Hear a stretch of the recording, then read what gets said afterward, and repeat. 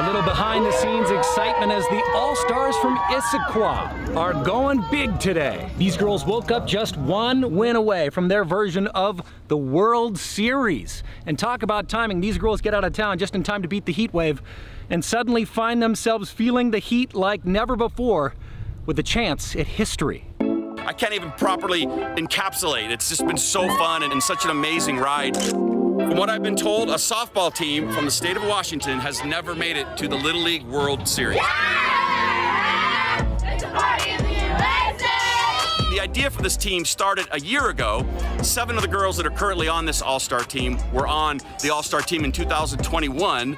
They were pretty good. They lost in the district championship to Redmond. And that night, the coach said, you know, we gotta get those seven girls to come back and play in 2022 we might be pretty good. And here we are. These girls started out their all-star run in a district tournament in North Bend, Washington. They won that. They then moved on to the state tournament, which was in Des Moines. They won that.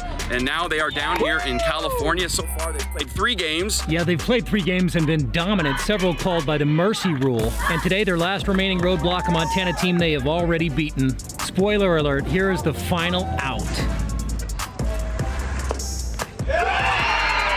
It's official. Your Issaquah All-Stars punched their ticket. Nobody will forget this. No one will forget this experience to go to North Carolina and represent the Northwest at the World Series, where this is the first year in a couple years because of COVID. They have international teams back, you know, team from Canada, Puerto Rico, the Philippines, and I think they've exceeded everybody's expectations. Go Issy.